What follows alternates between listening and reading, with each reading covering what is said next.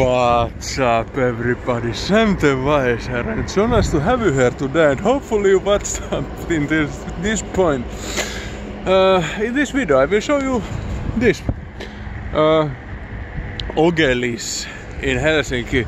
Uh, this is actually one of the first places where they held Olympics and well not actually this but it's kind of nearby.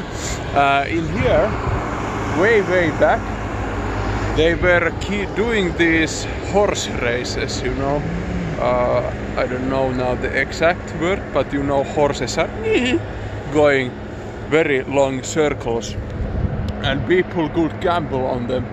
And currently, now for up, to, up until 70 years, uh, you know, the race part has gone from the horse race, uh, but still, uh, now where you see those places where people can sit, the audience, there was the circle that looped. So they have built on top of this historical place this ice, uh, how do you say, ice court, so to say.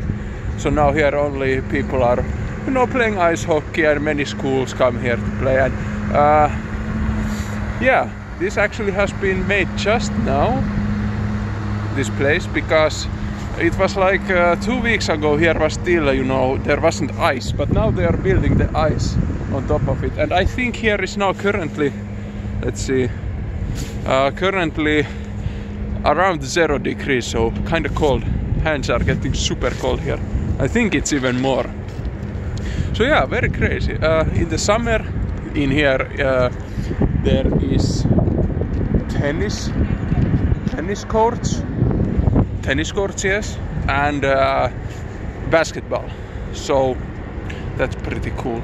So now you know a little bit more about my childhood's Ogeli in nearby Helsinki. So thank you very much for watching this video. Thumbs up if you like and we will see in tomorrow's video. Sam the Wise is out